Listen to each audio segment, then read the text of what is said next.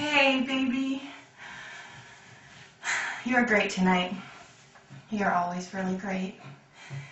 You just went home, as usual. I begged you to stay and cuddle, but um, you rushed out, as usual.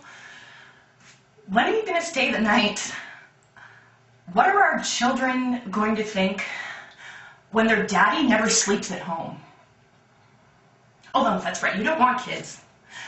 Maybe you just don't kids with me. Is that it? Well, guess what, baby? Maybe it's not your decision. You think this flimsy knot is any match for me, huh? You think this latex knob is going to stop me from carrying our sweet, sweet love child? Because I'm the baby maker and I decide. And I choose life. I choose you. Cheers to our future together. Oh, yeah. Yeah. Oh, I'm so glad I'm ovulating right now. Oh, hey, baby. Here's the first picture of our baby. Oh, I really love you, baby.